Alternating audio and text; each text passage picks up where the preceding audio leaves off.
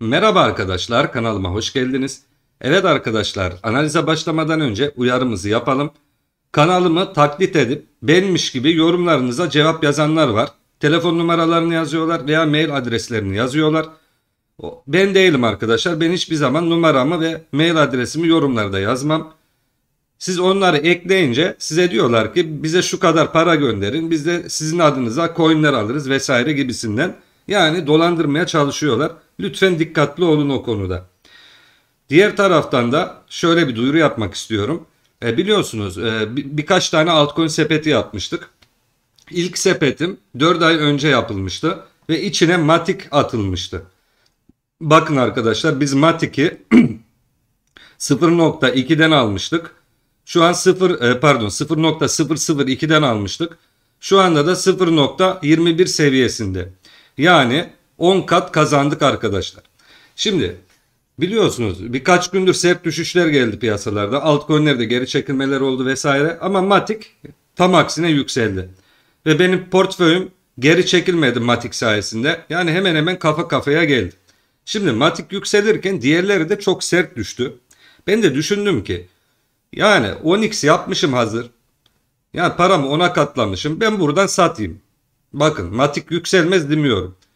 Ama şunu yaptım. Sattım 10 kat kar ile. Siz de aynısını yapabilirsiniz örnek vereyim. O parayla da en son yaptığım sepet düştü ya mesela. Eşit parçalarla bölüştürdüm elime geçen parayı. Yani böylece ne yapmış olduk? Diyelim Matic buradan 1 dolara kadar yükseldi. Ne kadar kazandırır? İşte 4 kat kazandırır şu anki seviyesinden. Yani benim çektiğim para aslında 4'e daha katlayabilirdi. Öyle düşünebilirsiniz. Ama ben ne yaptım? Düşmüşlere girdim, bölüştürdüm. Düşmüşler de belki 20 kat kazandıracak. Yani mantık bu şekilde. Aslında ben bedavadan sermaye yaptım burada. O sermayeyle de düşükten altcoin sepetime eklemeler yaptım. Ve böyle yapınca da tamam Matik buradan bir çarpı 4 daha yapabilir örnek vereyim. Ama diğerleri de çarpı 10 yapabilir 20 yapabilir. Yani mantık bu şekilde. Yani bunu duyurmak istedim. Hani bize söylemeden sattım diyenler olabilir. Ee, şu an duyuruyorum. Umarım herkes duymuştur. Yani Matik arkadaşlar çok yükseldi gördüğünüz gibi. Hani devam da edebilir. Şöyle 4 saatte bir bakayım. Dalga dalga yükseliyor arkadaşlar. Şu an bir geri çekilme var. İlk desteğimiz örnek vereyim 0.196 seviyelerinde. Diğeri de 0.87 bölgesinde. Oralar önemli destektir. Oralarda kırarsa bir nebze geri çekilme gelebilir ardından. Yani son kale bana göre 0.163. Yükseliş devam ederse de dediğim gibi rekor kıran bir üründür. Nereye gideceğini kimse kestiremez arkadaşlar. Ha şöyle 3 aşağı 5 yukarı şurada bir çanak yaptı diyelim. Yani bir 0.27 hedefi olabilir ilk olarak. Neyse bu seçtiğim e, analizler için seçtiğim altcoin değildi. Sadece örnek olarak gösterdim. Sizden gelen istekleri sayıyorum şimdi. Neo, Tron, Cardano, Ontology, Aion, DOT, Algo, SXPay, XLM ve Chainlink. Yani sizin isteklerinize baktım. Bunları seçtim arasından. Ee, bütün isteklerinizi cevaplayamıyorum maalesef. Çok sayıda altcoin isteğe geliyor. 10 tane seçiyoruz. Yarın bir tane daha yapacağız 10 tane altcoin. Biliyorsunuz cumartesi pazar günleri herkese açık bir şekilde bu videoları paylaşıyorum. Hafta içi de altcoin videoları izlemek istiyorsanız katıl butonundan en az orta seviye üye olmanız lazım. Şimdi Neo ile başlayalım. Orada durum ne?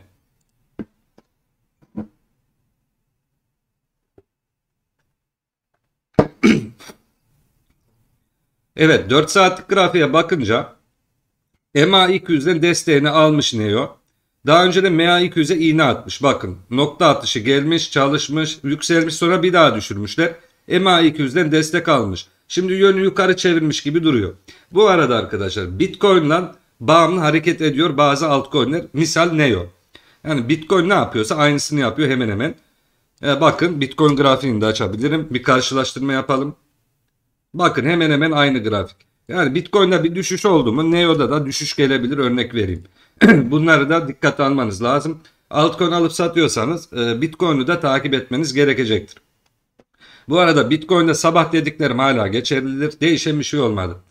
Şimdi Neo'da hedefler nere olabilir? İlk olarak MA21 hedefi vardır.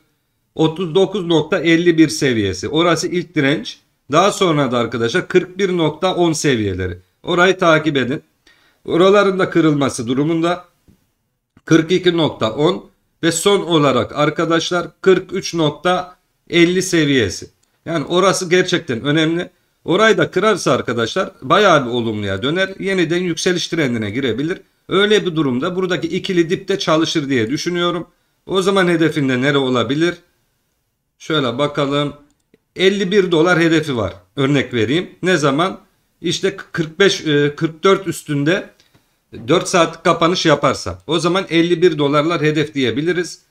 Ama arkadaşlar bu dirençler önemlidir. Hepsinde satış yeme potansiyeli var. Yani dirençlere gelince dikkatli olmanızı öneririm. Neo'da son kale bana göre 33 dolar arkadaşlar. Oran altı tehlikeli gibi duruyor. Yani iğne gelebilir ama 4 saat kapanışlar tehlikeli olur diye düşünüyorum. Diğer taraftan da bakın MA21'in altında günlük kapanışını yapmış dün. Şimdi tekrar üzerine çıkmaya çalışıyor. Yani diyelim e, çıktı. Diğer ortalamaya yükseliş geldi. Orası da 42.80 seviyeleri. Yani çok önemli dirençtir. MA10 mavi ortalama. Yani yükselişlerde orayı dikkatle takip edin. Dediğim gibi arkadaşlar şöyle 44 üstünde kapatırsa 4 saati 51 dolarlara kadar gitme potansiyeli var o saatten sonra. Yani şöyle büyük resmine de bakayım hemen detaylıca değinmiş olalım. Yani haftalıkta da düzeltme yapmış. Yani normal arkadaşlar hiçbir şey sonsuza kadar yükselmez. Daha önce buralarda da düzeltme yapmış. Buralarda da yapmış görüyorsunuz. Burada da yapmış. Yani arkadaşlar bakalım e, şu an böyle kapatırsa haftayı bir tepe teyit edilecek. O saatten sonra da 55 üstünde hafta kapatması lazım ki daha da sert yükselebilsin. Yani büyük resimde daha hedefine ulaştığını düşünmüyorum arkadaşlar. İlk direncimiz burasıydı mesela şuradaki dip. Oranın biraz üstüne çıkıp satışını yemiş. Bir dahaki yolculuğunda bana göre gideceği yer 90 dolar seviyeleridir Neo'nun. Şimdi Tron'a bakalım. Orada durum neymiş? Bakın Tron da MA 200'e kadar düşmüş. Desteğini almış. Görüyorsunuz bu beyaz ortalama. Daha sonra yükseldikten sonra bir daha düşmüş. Tabi Bitcoin düştüğü için oluyor bu. Tekrar MA200'den destek almış ve şu an yoluna devam ediyor. Yani arkadaşlar burada önemli bir desteğimiz var. Bu beyaz ortalama. Şu son dibi baz alalım biz. 0.40 427. Oran altında 4 saat kapatmadıkça sorun yok gibi duruyor. Ve şu an ilk hedef olarak nereyi belirleyebilirsin? 0.049 hatta 496 seviyeleri ilk dirençtir bana göre. Daha sonra da arkadaşlar 0.51 daha sonra da 0.50 yani 527 seviyesi. Oralar önemlidir. 530 da diyebiliriz. Yuvarlak rakam. Oran da üzerinde 4 saat kapanış gelirse buradaki ikili dip çalışabilir. O zaman hedefi nere olabilir? Şöyle 3 aşağı 5 yukarı arkadaşlar. 0.056. Yani yükselişlerde verece, e, takip edeceğiniz seviyeleri söyledim. Düşüşlerde de arkadaşlar çok önemli. 0 nokta hmm, neydi? Bir daha bakalım. 0.0427 altında 4 saat kapatmaması lazım. 4 saatlik grafikte durum bu. Günlükte de MA21'e gelmiş. Bakın orası da önemli bir dirençtir. Yani şu an direnci zorluyor diyebiliriz. Ama deminki tabloya bakınca sanki yükseliş devam edecek gibi. Tabi Bitcoin'e bağlı bu. Bitcoin olumlu kalmaya devam ederse sıradaki hedefi burası arkadaşlar 0.051 veya 52 o bölge oralar önemli dirençtir. Oralar da aşılırsa deminki verdiğim seviyeleri takip etmekte fayda var. Haftalık grafiğine bakalım son olarak. Yani hemen hemen Neo ile aynı görüntüye sahip. Ee, daha fazla geçmiş olan bir grafik açayım ben. Bakın mesela haftalık MA ona iğne atmış arkadaşlar. Çok sert tepki almış. İlk ortalama haftalık bazda ve çalışmış desteğe. Yani fena durmuyor arkadaşlar. Tron'un yükselişi derinleştirmesi için arkadaşlar 0.0603 üstünde hafta kapatması lazım. Yani bana göre daha bu çanak tamamlanacak ilerleyen haftalarda. Yani bu bu mevzuyu Cardano için de söyledim örnek vereyim. E, dediklerimizde yanılmadık. Az sonra geleceğiz oraya. Yani arkadaşlar Tron'un ilk hedefi bana göre 0.089. Neredeyse buradan iki kat yapma potansiyeli var. Tabii ki arkadaşlar Şöyle anlatayım. Nereyi kırmaması lazım? 0.0427'yi kırmaması lazım. Diyelim kırdı orayı. Tekrar üzerine atarsa o seviyelerin yani şöyle bunu sıkıca takip etmeniz lazım arkadaşlar. Ha, diyelim 0.427 altında 4 saat kapattı. O saatten sonra 0.435 üzerinde 4 saat kapatmadıkça temkinli olursunuz. Bu şekilde strateji yapabilirsiniz. Yani dediğim şekilde sıradaki hedefi 0.087 seviyeleri bir yerden sonra bu çanakta tamamlanacağını düşünüyorum. O zaman da 0.2'lere kadar gidebilir. Yani 5 kat artma potansiyeli bile var. Orta vade arkadaşlar hemen yarın demiyorum. Bitcoin'de olumsuz hava geçsin. Daha sonra altcoin'lerde çok sert yükselişler bekliyorum. Beni takip edenler bilir. Görüşüm değişmedi arkadaşlar.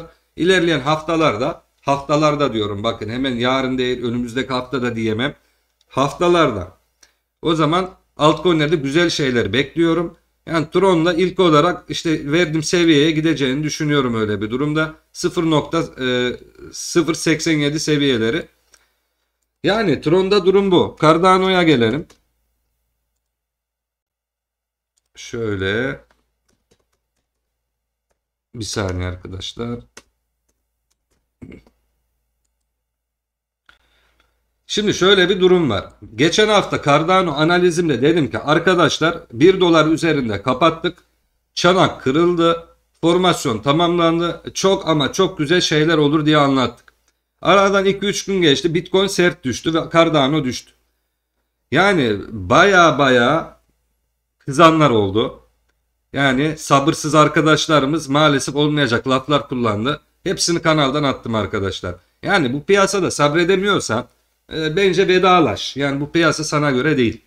Sabredenler meyvesini yemeye başladı. Bakın ne dedik? 1 dolar üstünde hafta kapatırsa bunu haftalardır diyorum arkadaşlar. Hatta 0.33'lerde bile 1 dolar hedefi verdik.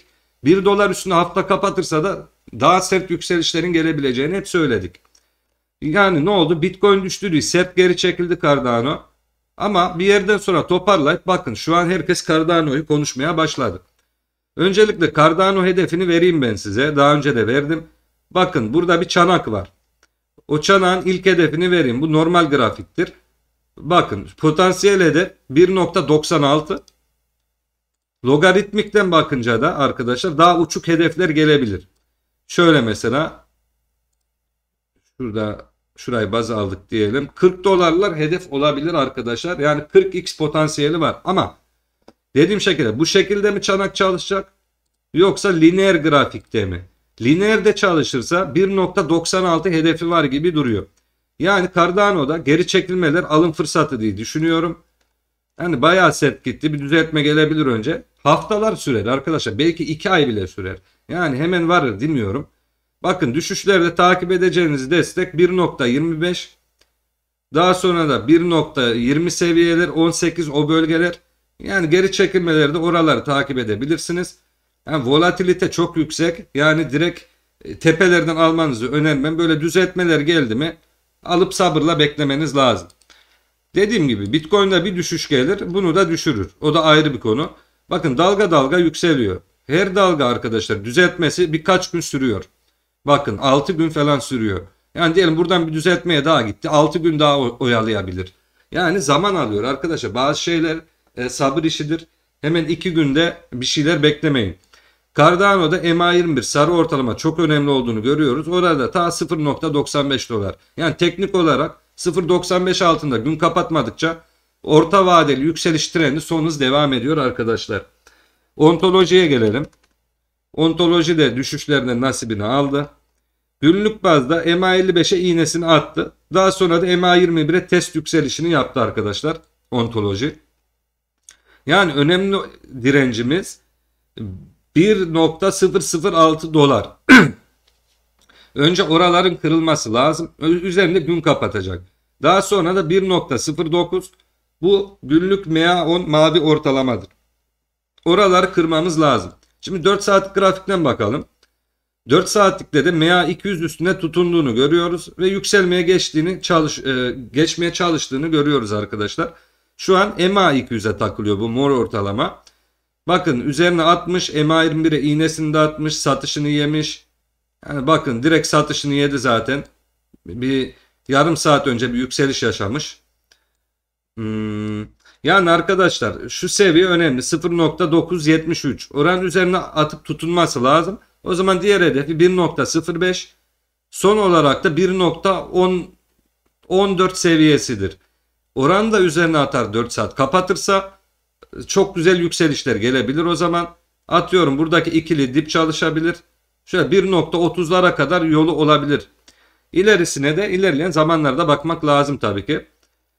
Yani şu ortalamanın üzerine bir atmamız lazım. Zaten şuradaki dibin de üzerinde oluyor hemen hemen. Yani kabaca hmm, günlük bazda 1.25 diyelim arkadaşlar. Oranın üzerinde gün kapatması lazım. O zaman çok sert yükselişler gelebilir ontolojide. Bu arada ontoloji hala sepete atılabilir. Bakın büyük resimde hala çok diplerde olduğunu görüyoruz. Cardano'da çanak tamamlandı. Ee, Birçok üründe tamamlandı arkadaşlar. Neo'da da tamamlanmak üzere örnek vereyim. yani bir gün bunda da tamamlanacağını düşünüyorum. Yani tamamlanırsa zaten 9.40 e, dolarda yani bir 10 kat yükselme potansiyeli bile var. Yani geri çekilmeler alım fırsatıdır bana göre. Yani ilerleyen haftalarda çok güzel şeyler bekliyorum arkadaşlar. Yani bu ontoloji önemli seviye 0.85. Oranın altına 4 saat kapatmadıkça sorun yok gibi duruyor. Şimdi arkadaşlar Ayon'a gelelim. Ayon'da da olumlu bir görüntü var. 4 saatte bütün ortalamaların üzerine çıkmış. Sıradaki hedef 0.217 gibi duruyor. Şimdi arkadaşlar Ayon büyük resimden bakınca bakın hala sepete atılabilecek kıvamda duruyor bana göre. Yani o son düşüş alım fırsatıydı altcoin'lerde. Belki bir düşüş daha, dalgası daha gelebilir o ayrı konu ama bu geri çekilmeler bu saatten sonra alım fırsatıdır diye düşünüyorum. Bakın tabloyu görüyorsunuz. yeni yeni yükselişe geçmiş bu ürün. Yani hemen böyle olduktan sonra ay piyasası başlamaz. Birçok ürün altcoin grafiği diyor ki büyük rally az kaldı diyor. Yani yavaş yavaş gidiyoruz diyor. Daha ayı piyasası başlamayacak diyor. Birçok altcoin'in grafiği bana bunu söylüyor. O yüzden panik yapmayın arkadaşlar. Şöyle bu ürünün rekor seviyesi 10 dolar hemen hemen. Yani 50 kat yükselir arkadaşlar eski seviyesine gelirse. Öyle bir potansiyelden bahsediyorum. Yani hala sepete atılabilecek kıvamda. Bunu diyorum diye hemen bugün uç beklemeyin örnek vereyim. Sepetin mantığı neydi? Bir sepet yapıyorsan kısa vadeli %50 zararı göze alman lazım. Bu şartlar altında sadece sepet yapılır. Yani büyük resimde sorun yok. 4 saatlikte güzel görünüyor. Bir de günlüğüne bakalım. Günlükte de bütün ortalamaların üzerindeyiz. Yani çok olumlu bir görüntü var. Bitcoin terslik yapmazsa arkadaşlar bu ürün biraz daha yükselecek gibi duruyor. Yani ilk hedef olarak 0.229 yapabilirsiniz. Diyelim gitti buradan oraya ne olur? Bir bakalım. Yani %11-12 kar ettirebilir. Ama ben daha yükselişlerin ilerleyen haftalarda sertleşeceğini düşünüyorum AION'da. Tabi hani önce negatif hava bir kalkması lazım ortadan. Yani Bitcoin'daki belirsizliğin bitmesi lazım. Benim görüşüm Bitcoin en kötü şartlarda 40 binlere düşer. Bilemedin 39'a iğne atar. Ondan sonra yeni rally'e geçer diye düşünüyorum. Ya da direktman buradan geçer arkadaşlar. Yani altcoin'ler hemen hemen dip seviyelerde. Buradan düşüşler de gelebilir örnek vereyim. Ama büyük resimli dip seviyelerde duruyorlar kimileri. Uçmuşlardan bahsetmiyorum arkadaşlar. Demin örneklerini verdim. Yani AIO'nda durum bu şekilde. DOT'a bakalım bir de. DOT'ta günlük grafikte MA21'de tutunduğunu görüyoruz. Kusura bakmayın arkadaşlar. Şöyle sarı ortalama. Ora kırılmadıkça sorun yok. 29.97 altında gün kapatmadıkça sorun yok. Günlükte ilk ortalaması MA10'a gelmiş. Yani dirence dayanmış arkadaşlar. Şöyle 4 saatlikte bir bakalım. Yani Bollinger bandını kapatayım. Yani 4 saatlikte de gördüğünüz gibi son ortalamaya gelmiş. Yani buralarda biraz dikkatli olmakta fayda var. Buradan satış yerse de destekleri vereyim. 33.28 32 30 31 dolar arkada 31.80 bunlar desteklerdir.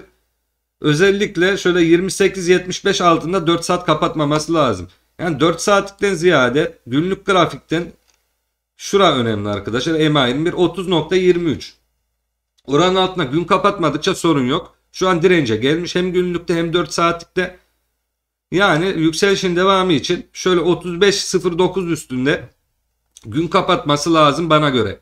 Onu yaparsa günlük Bollinger üst hedef olabilir. Yani tekrardan bir 39 dolar atağa gelebilir bu üründe. Ne olmadıkça 30 dolar altında gün kapatmadıkça. Büyük resimden bakalım. Şöyle. Yani büyük resimde daha hedefine ulaştı, ulaşmadığını düşünüyorum. Yani 50 dolarlara doğru gider diye düşünüyorum ilerleyen haftalarda arkadaşlar DOT. Şimdi algoya bakalım. Haftalık grafikte algo rekorunu kırdı. Klasik arkadaşlar sert yükseliş sonrası bir düzeltme gelir. Yani silkeleyecekler herkesi tabii ki yoksa herkes para kazanır.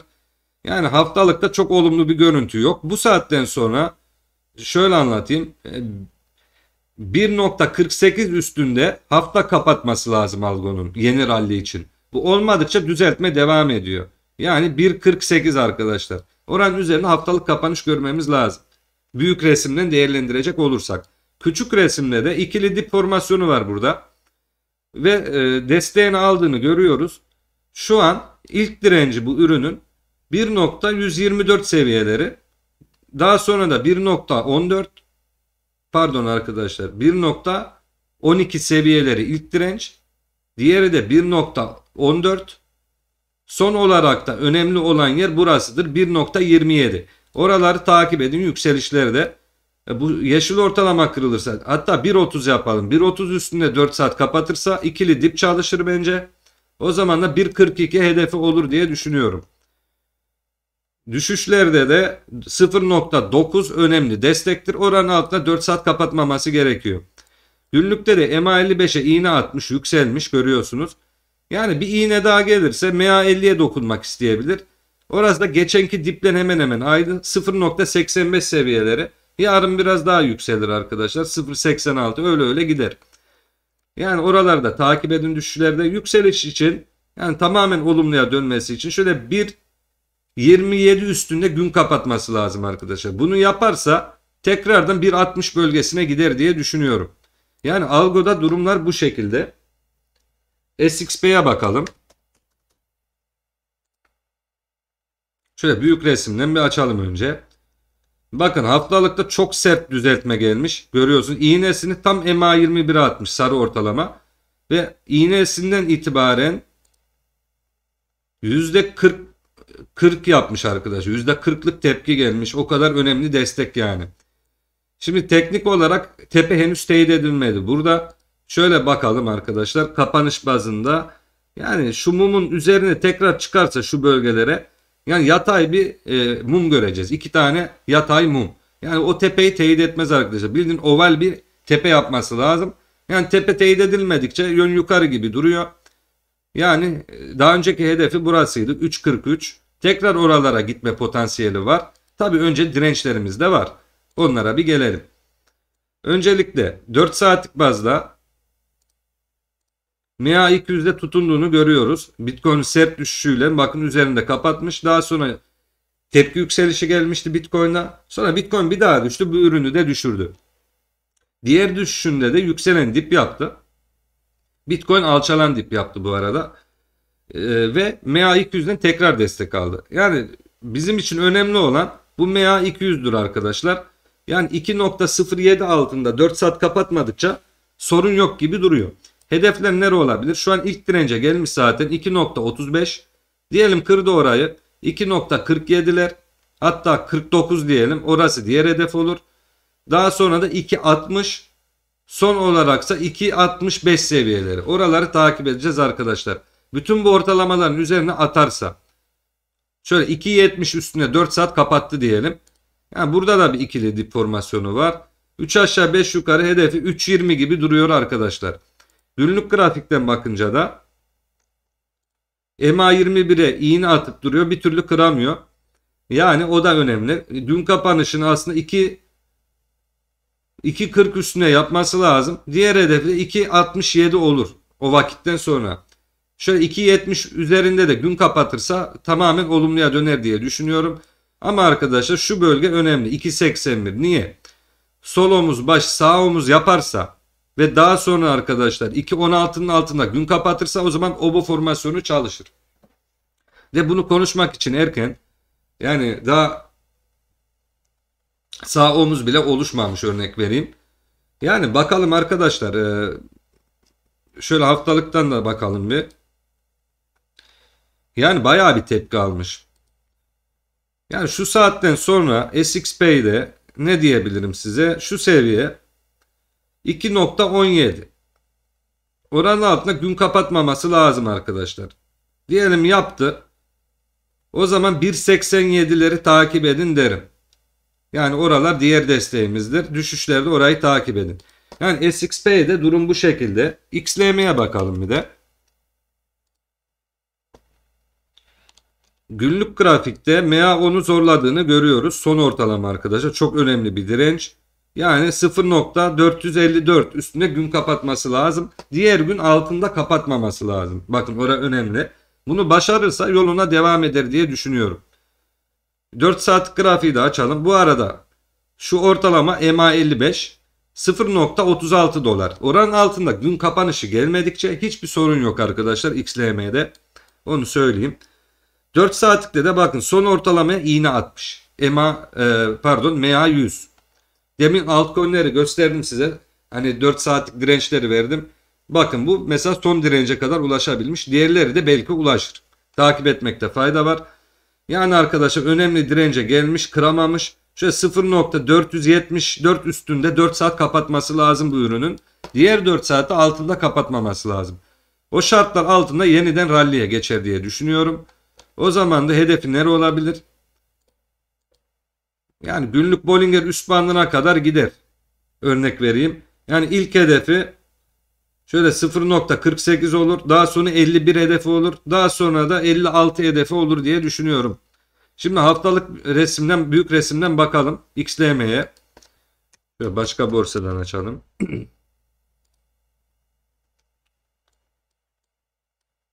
Bakın XLM'de de çanak tamamlanmak üzere. Aynı Cardano gibi.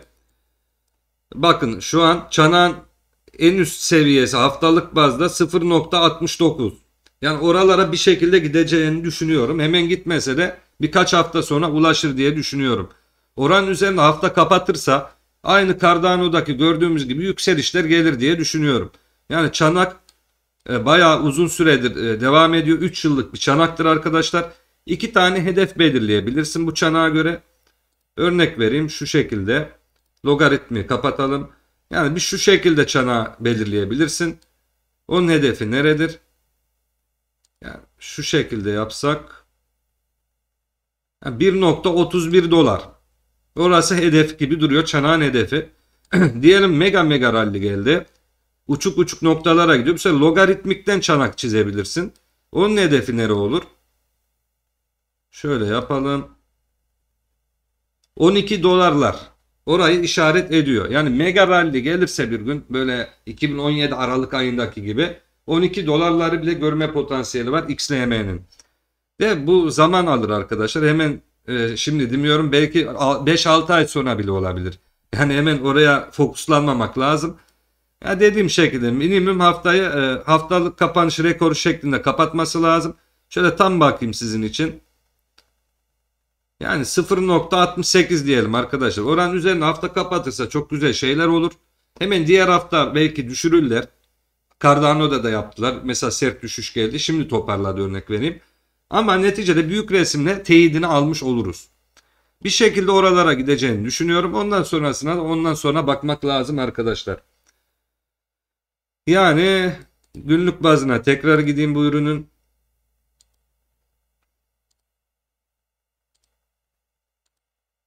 XLM için önemli seviye şurasıdır. 0.35 dolar oranın altına gün kapatmadıkça sorun yok gibi duruyor arkadaşlar. Şimdi linke gelelim. Bir ara modaydı. Şu an yüzüne bakan yok. Bakın link günlükte MA50 MA55 ortalamasına düşmüş. Tutunmuş. Şimdi hedefinde arkadaşlar bana göre 28.32 var. Diyelim buradan gitti oraya. Ne kadar kazanırsın? Yani %8.5 falan. Orayı da kırarsa diğer hedefi 29,5 dolarlar olur diye düşünüyorum. Tamamen olumluya dönmesi için bu iki ortalamanın da üzerine atması lazım. Yani şöyle 30 dolar üstüne gün kapatması lazım. Onu da yapabilirse o zaman hedefinde tekrardan e, tepe noktası olur ilk başta. Şöyle yapalım. 34 dolar. Artık o bölgelerde aşırırsa yeni yeni rallilere geçer diye düşünüyorum. Şimdi 4 saat grafiği açalım. 4 saatlikte negatif bir görüntü var. Niye öyle diyorum? Şu, şu sebepten dolayı. Yani son ortalamanın altında seyrediyor ve kırmaya çalışıyor. Yani arkadaşlar e, önemli olan önce burayı bir kırması. Neresi ora? 27.43. Oranın üzerine atıp tutunması lazım. 4 saat kapanışlar yapması lazım. Ondan sonra 30 dolarlara doğru gider diye düşünüyorum. 4 saatlik bazda da 30.75 üstünde 4 saat kapatırsa olumluya döner. Buradaki ikili dip çalışabilir. O zaman da minimum hedefi nere olur örnek vereyim. 33 dolar gibi duruyor. Öyle bir durumda. Yani Chainlink'te takip etmen gereken yer burasıdır. 24.50 dolar diyelim arkadaşlar. Oranın altına gün kapatmadıkça sorun yok gibi duruyor. Bugünlük anlatacaklarım bu kadar. Umarım faydalı olmuştur. Kendinize çok iyi bakın arkadaşlar. Görüşmek üzere.